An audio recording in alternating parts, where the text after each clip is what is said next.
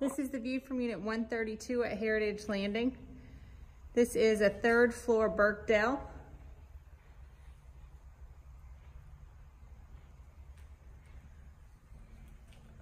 You can see you've got a nice quiet setting and gorgeous view of the 11th fairway. And then that tree line in the background is a preserve.